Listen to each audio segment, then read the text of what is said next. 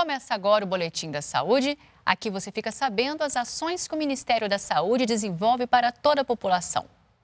Com a reformulação da rede hospitalar no Rio de Janeiro, o Ministério da Saúde quer aumentar em 20% o número de atendimentos nesses hospitais. Os detalhes você acompanha com a repórter Érica Braz.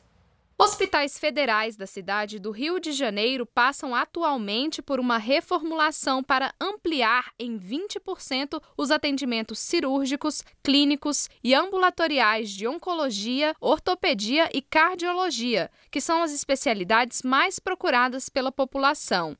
Mas essa reformulação, segundo o Ministério da Saúde, não vai promover suspensões, cortes nem diminuição dos serviços prestados. O novo formato também não altera o atendimento e as cirurgias já agendadas. A partir da reformulação, o tempo de espera por cirurgias vai diminuir consideravelmente.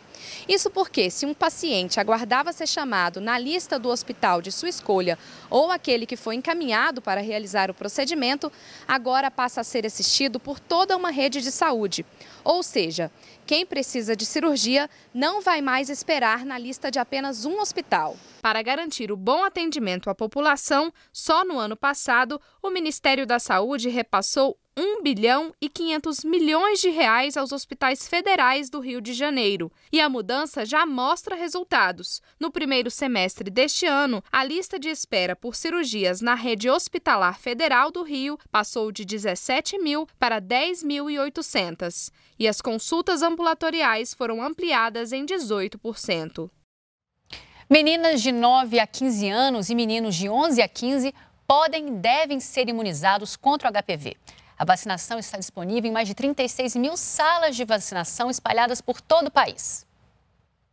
Essa é a Isadora, de 14 anos, que já está imune contra o HPV um vírus que causa vários tipos de cânceres e verrugas genitais. Há mais de três anos, a mãe dela optou pela vacinação quando a vacina ainda não era oferecida pelo SUS e comprou as doses num laboratório particular. Isso não é mais preciso porque meninas de 9 a 15 e meninos de 11 a 15 anos podem e devem se imunizar gratuitamente em todos os postos de vacinação do país.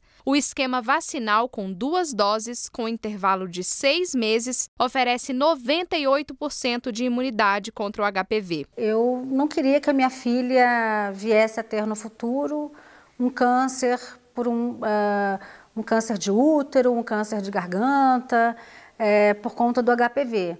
Apesar dos esforços do Ministério da Saúde para imunizar os adolescentes, alguns pais irresponsáveis têm apresentado resistência à vacina contra o HPV. O Ministério recomenda que estados e municípios promovam campanhas para mostrar a importância da vacinação e os perigos da não imunização.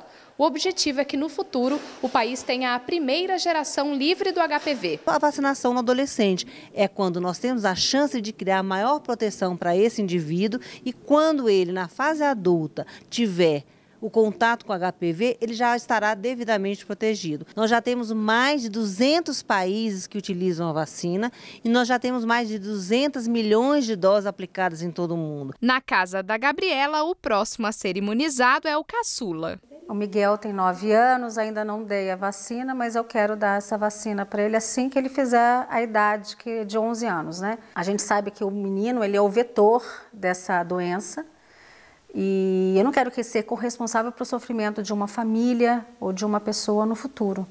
Né? Eu acho que as, as mães de meninos pre precisam sim vacinar os seus filhos. Toda vez que se coloca uma vacina no Programa Nacional de Imunizações, é porque nós temos a garantia da segurança e da eficácia dessa vacina à luz de estudos que demonstram isso e principalmente porque ela já foi utilizada em outros países que têm resultados que mostram a segurança e eficácia dessa vacina. Acabou o Boletim da Saúde, mas você pode continuar acompanhando as notícias do Ministério da Saúde pelo portal saude.gov.br, pelas redes sociais facebook.com.br MinSaúde e também pelo Twitter, arroba MinSaúde. Muito obrigada pela companhia e até a próxima.